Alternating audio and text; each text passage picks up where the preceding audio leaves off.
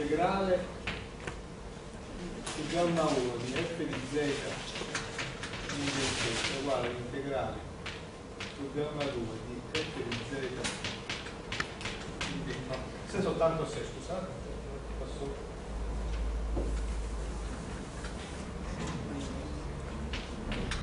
Se soltanto se, 3, integrale su gamma 1 di f di z in dz è uguale integrale su gamma 2 di f di z in dz se gamma 1 di AB in A e gamma 2 di CD in A sono due curve. Regolari a tratti con gamma 1 di A uguale gamma 2 di C e gamma 1 di B uguale a gamma 2 di D.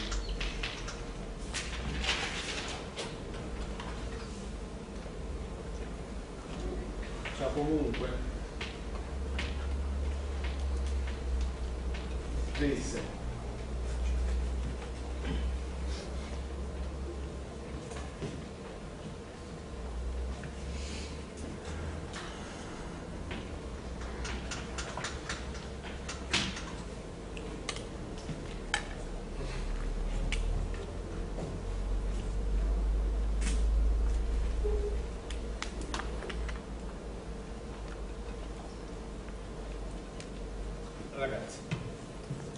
si ha un aperto connesso ed è di A in C la funzione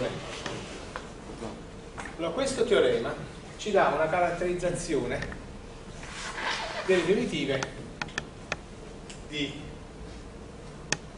dove c'è una caratterizzazione sul fatto che f ammette primitive allora f a primitiva.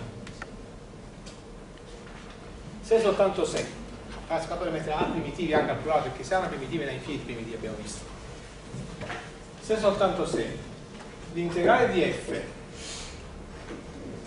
lungo qualsiasi curva gamma regolare a tratti chiusa e con sostegno in A vale 0 se soltanto se l'integrale di f su gamma 1 è uguale all'integrale di f su gamma 2 comunque assegnate due curve gamma 1 e gamma 2 curve regolari a tratti con gamma 1 di A uguale gamma 2 di C, con due curve regolari a tratti con segno in A, con gamma 1 di A uguale gamma 2 di C e gamma 1 di B uguale gamma 2 di D. D'accordo? Vi danno il suo risultato che è analogo a quello che avete visto sulla esattezza della forma differenziale. Ragazzi, facciamo una dimostrazione.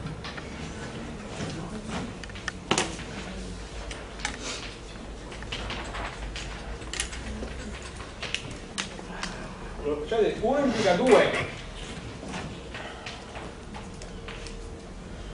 è ovvio questo. Come il caso delle forme differenziali segue dalla proposizione precedente Trovate?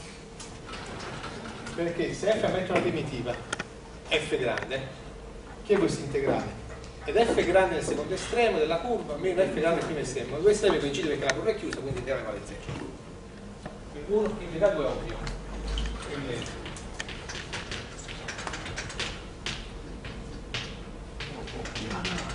2 implica 3 ragazzi anche questa è evidente la stessa dimostrazione che avete fatto sulle forme differenziate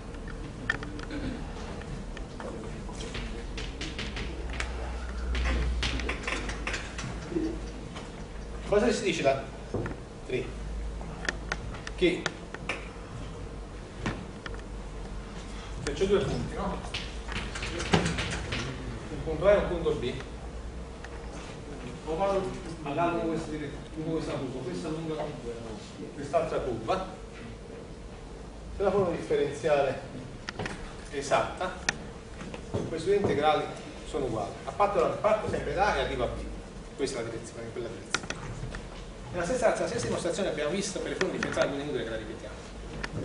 Neanche questo è evidente facciamo la 3 implica la 1 è un po' diversa dalla dimostrazione vista per le forme differenziali. Anche se molto analogico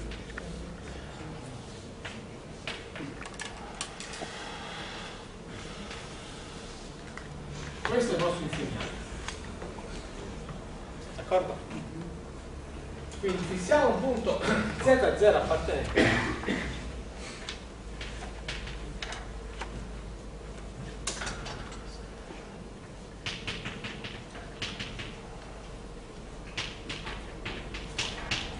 z0 appartenente là poi passiamo a questa funzione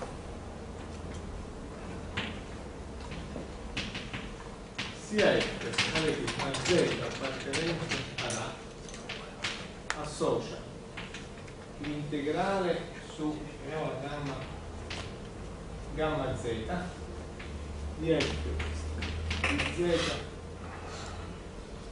f chiamiamola f di s f di s in s c ove gamma z è una poligonale con sostegno in A di primo estremo zeta 0 e ultimo e secondo e estremo z. Cosa fate ragazzi? Vedete un punto z. Questo è il vostro punto z. Considerate una poligonale che congiunge z con z. D'accordo? Questo è il sostegno alla vostra poligonale prende una poligonale con sostegno contenuto in A quindi primo estremo z0 e secondo estremo z la stessa cosa, la stessa cosa che facevate sulle forme differenziali d'accordo? e chi è, e chi è f di z?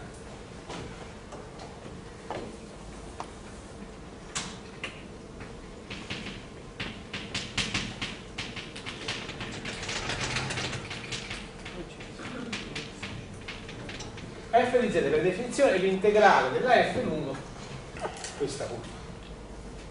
Ragazzi, ci poniamo le stesse domande che ci siamo posti per le forme differenziali. Prima cosa, esiste una tale curva? Ragazzi, esiste? Z0 è fissato, vedete un punto Z, esiste una, esiste una poligonale contenuta in A di primo estremo Z0 e secondo estremo Z? Perché? Perché A è connesso. Seconda domanda. Questa definizione è ben posta? Cioè nel senso, invece prende questa poligonale, che posso, trovo in fila di poligonali, invece prende questa in poligonale.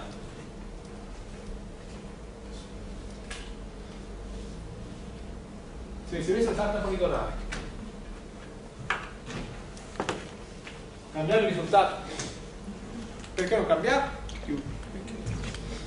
Per in virtù dell'ipotesi 3. Pensate cosa che 3 implica 1, iniziamo nell'ipotesi 3 l'integrale lungo questa poligonale l'unico poligonale di f è uguale. È uguale, sono uguali. D'accordo? se l'integrale poligonale parte da 0 e arriva a z. E alle sostegnina l'integrale lungo due poligonali è uguale. Quindi la definizione dipende dalla poligonale quindi è ben posta in altri casi è tutto uguale a quello che abbiamo visto nel forme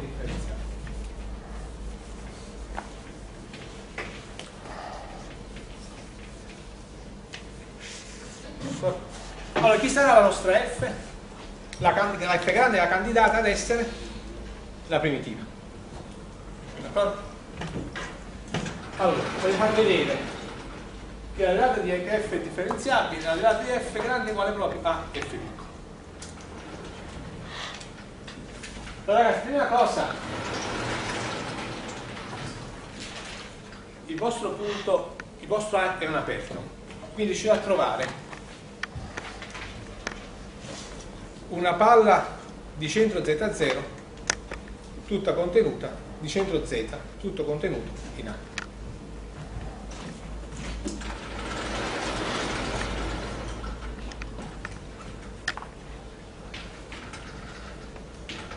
essendo A aperto esiste un R maggiore di 0 tale che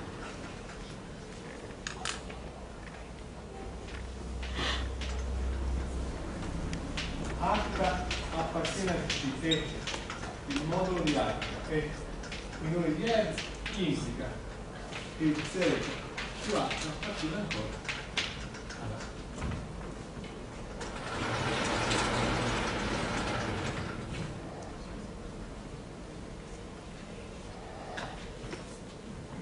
Questo chi è? Questo è circonferenza di centro Z e raggio R.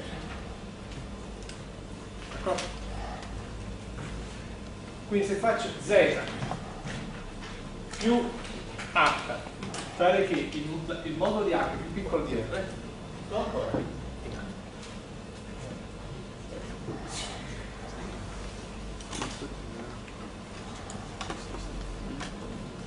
Allora, consideriamo il rapporto incrementale per calcolare f di z più h meno f di z fratto h meno f di z d'accordo? pensate sull'apporto incrementale meno f di z dove h la funzione che ad h appartenente alla palla di centro origine del raggio f all'ISO meno l'origine associa f di z più h meno f di z fratto h. F, f grande di z più h meno f grande di z fratto h meno f piccolo di z. Pensiamoci questa funzione. Z è fissato ragazzi adesso c'è la stessa, stessa passaggi abbiamo visto per, per le forme differenziali come posso valutare questa quantità? Chi è z più h?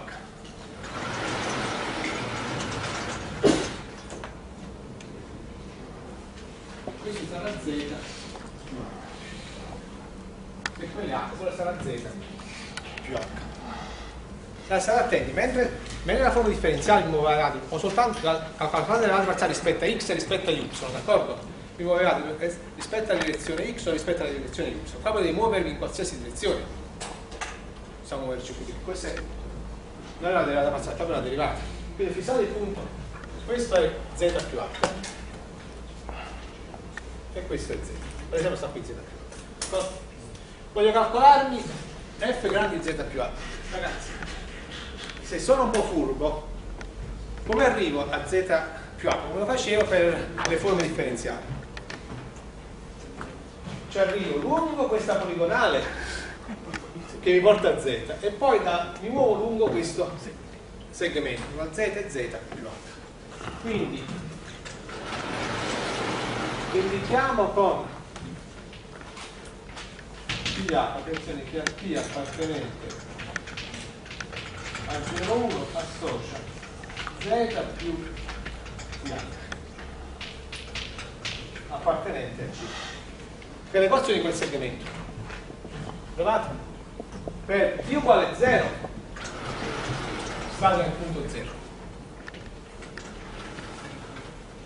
per t uguale a 1 sta nel punto z più h. E quella è l'equazione quella curva ha per sostegno questo segmento d'accordo? allora ragazzi quando mi calcolo eh, questo sono i stessi passaggi che avete visto moralmente per le forme differenziali quando mi calcolo f di z più h cosa faccio? mi prendo per esempio questa curva che arriva fino a z, questa poligonale, e poi da z va da z più h lungo questo segmento. Quindi ho l'integrale di f piccolo lungo questa poligonale. Quando mi calcolo f grande di z, chiedo l'integrale lungo soltanto questo primo tratto. Quando faccio la differenza cosa resta? L'integrale sulla curva φ con h. Quindi questo è un tratto che 1 su h l'integrale su ph di f di s questa prima parte qua d'accordo? è giusto l'integrale sul segmento diviso 1 su h meno f di z questo come lo posso scrivere? posso scrivere come 1 su A integrale su FA di F di S in DS meno F di Z lo posso scrivere come 1 su H l'integrale su FH di F di Z in S vi trovate che F di Z si può scrivere in quel modo? ragazzi scusate qua sto integrando in ds quindi f di z è una costante in virtù della proprietà dell'integrale sono stato fuori dell'integrale cosa resta? 1 su h l'integrale su ph in ds chi è l'integrale su ph? No, no, no. chi è l'integrale su ph? Il numero complesso è un numero l'integrale su ph non è un numero è numero complesso. Chi è? per definizione ragazzi. Sono qua. Chi è l'integrale su ph di 1 in ds? in base alla definizione integrale tieni integrale tra 0 e 1 d'accordo? 1 calcolato sulla curva. 1 calcolato sulla curva fa 1 per la derivata della curva per il primo h di s in ds ma quant'è φ primo h? la questa funzione quant'è? è h d'accordo? quindi niente integrale tra 0 e 1 di h in s quindi in s questo è uguale proprio a h in base alla definizione integrale abbiamo dato quindi qua cosa ho fatto? questa quantità non è altro che f di z per h ho moltiplicato per 1 su h quindi non è altro che f di z questo è uguale. A 1 su A integrale su pH di f di s di z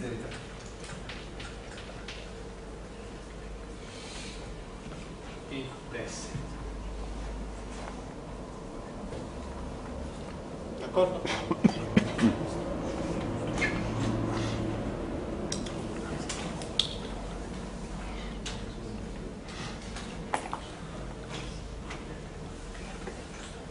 Vediamo che per ogni H appartenente al disco di centro d'origine del raggio L meno l'origine vale questa uguaglianza. Quindi abbiamo questo modulo che è uguale al modulo di questo uguale al modulo di questo che è uguale al modulo di questo. È cosa vale questo modulo? Questo è il modulo di 1 su H, 1 sul modulo di H. D'accordo? Poi resta, questo è minore uguale, il modulo dell'integrale, abbiamo visto minore o uguale dell'integrale del modulo, l'integrale su ph del modulo di f di s di f di z oh, scusate. Abbiamo visto che il modulo dell'integrale che cosa è più piccolo? è più piccolo del massimo del modulo della funzione sulla curva per la lunghezza della curva. Quindi è più piccolo, sul modulo di bene fino su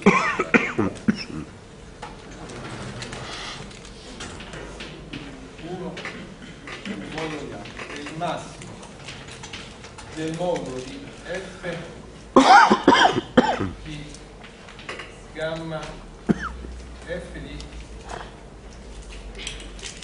ph di s meno f di z con s appartenenti a 0,1 per la lunghezza di ph ma qual è la lunghezza di ph ragazzi?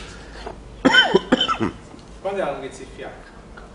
il modulo di h d'accordo? quindi questo è uguale ragazzi andiamo a scrivere qua è uguale di 1 sul modulo di h il massimo del modulo di f di h di s meno f di z con s appartenente a 0,1 per il modulo di h. Questo e questo si ragazzi qui siamo arrivati a questo punto qui. Ragazzi, cosa sappiamo? Che la funzione f è continua per ipotesi. D'accordo? quindi in particolare continua in z. Abbiamo che f continuo che in particolare è continuo in z. Che per ogni epsilon maggiore di z esiste un delta epsilon maggiore di z tale che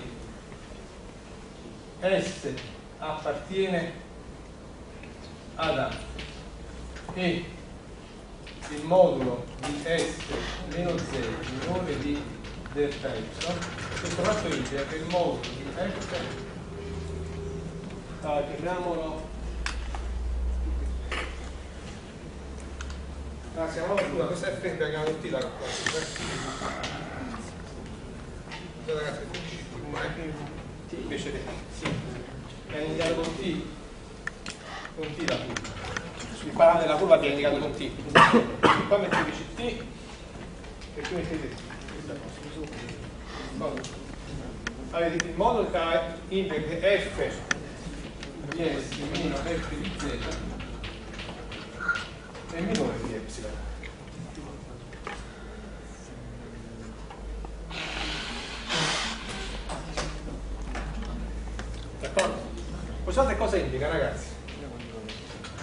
che per ogni epsilon maggiore di 0 esiste un delta epsilon maggiore di 0 tale che H appartiene al disco di centro origine e raggio R e il modulo di H è minore di delta y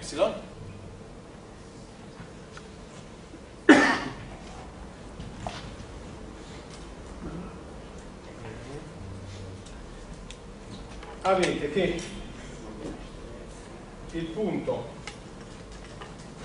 se il modulo di h è più piccolo di delta y d'accordo? allora avete il punto z più th meno z questo è cosa uguale questo e questo se ne vanno. Resta t per il modulo di h. Questo è t minore di 1 è uguale. È minore di delta y. D'accordo? quindi avete che f di z più ph meno f di z è minore di epsilon. Chiaro? Fissate epsilon maggiore di 0. Esiste un delta epsilon maggiore di 0. Tale che se H appartiene al disco di centro origine e raggio R e il modulo di H è minore di delta epsilon, cosa succede? Considerate Z più TH meno Z. Queste Z se ne vanno, resta il modulo di TH. Il modulo TH che cos'è? T per il modulo di H. T, questo però sto prendendo T, sto prendendo T tra 0 e 1, d'accordo? T per questo per ogni T appartenente a 0 e 1. Questo è minore di delta y. Quindi questo fatto implica per ogni T appartenente a 0,1 f di z più th che sarebbe f di s meno f di z è minore di epsilon vi trovate ragazzi? devo ripeterlo? allora per cosa sappiamo ragazzi? che la f è continua quindi in particolare f è continua nel punto z D'accordo? Questo cosa vuol dire? Comunque visto epsilon maggiore di 0 esiste un delta epsilon maggiore di 0 tale che se S appartiene ad A e la distanza tra S e Z è più piccola del delta epsilon la distanza tra f di S ed f di Z è più piccola di epsilon questo cosa indica? che per ogni epsilon maggiore di 0 esiste un delta epsilon maggiore di 0 tale che se H appartiene alla palla di centro origine e raggio F e il modulo di H è minore di delta epsilon calcolatevi e prendete T uh, cosa succede? prendete allora Z la palla di Z più TH con T appartenente all'intervallo 0 quindi un punto che sta su questo segmentino Senza attività sarà su questo segmento. Punti appartenenti a 0,1. E vedete la distanza di questo punto da Z. La distanza di questo punto da Z, chi è? Z e Z si semplificano. Resta il modulo di TH. Il modulo di TH cosa è uguale? A T per modulo di H. D'accordo? Ma T com'è? Minore di 1. Quindi questo è più piccolo di delta epsilon. Quindi cosa sta dicendo? Che il punto z più th, la distanza tra, tra il punto z e il punto z più th è minore di delta epsilon. In base a questa proprietà, la distanza tra il punto f di z e il punto f di z più th sarà minore di epsilon. Comunque prende t appartenente all'intervallo 0. D'accordo? Siamo arrivati a questo punto qui.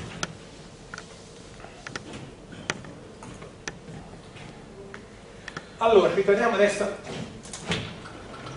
alla nostra quantità. Cosa abbiamo? Diciamo qui, abbiamo che il modulo di f di z più h meno f di z fratto h meno f piccolo di z. Facciamo questa quantità.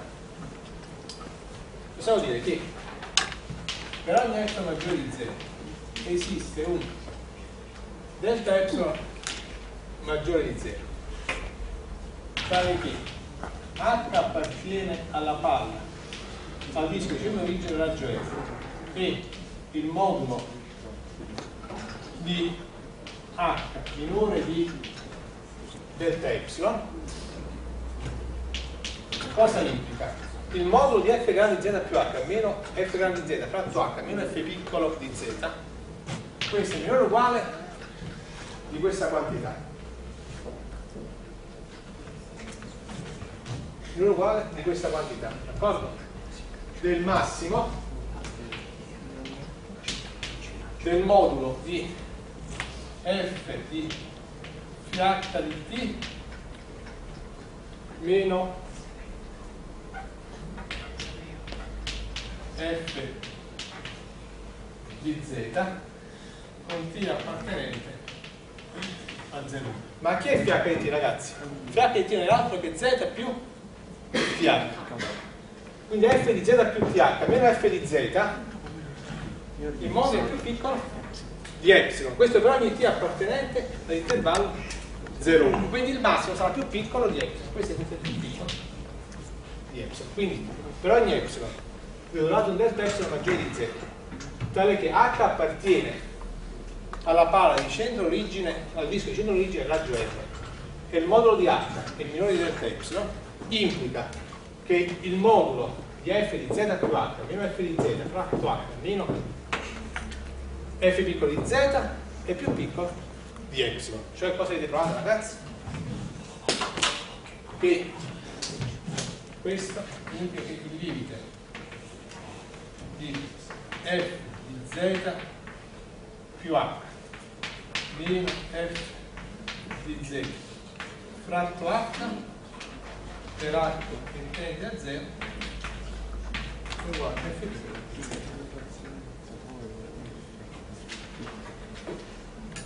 questo. Dio questo fatto ma questo quindi avete dimostrato che questa funzione ammette limite. Per h che tende a 0 e, e il limite è uguale a f piccolo di z ma che è questo limite? d'altra parte per definizione di derivata è f' nel punto z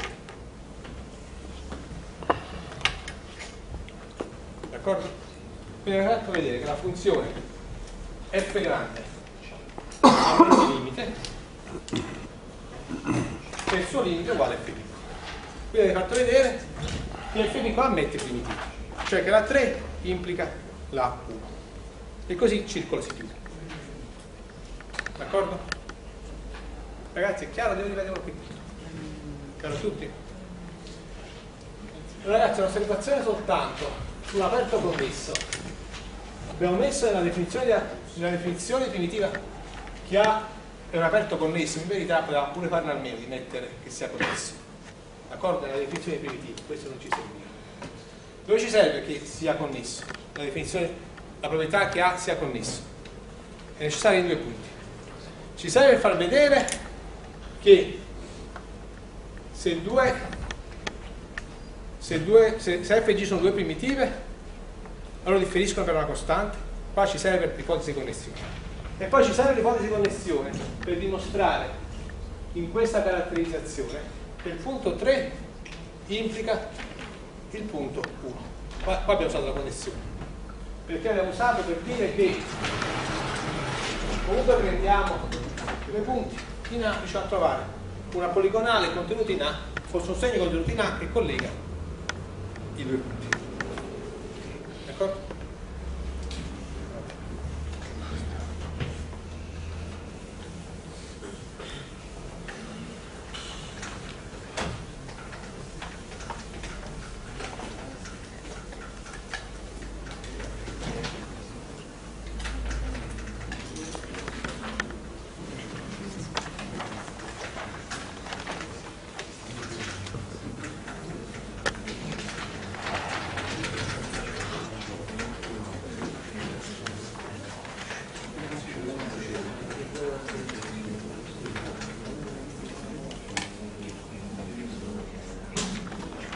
ragazzi finiamo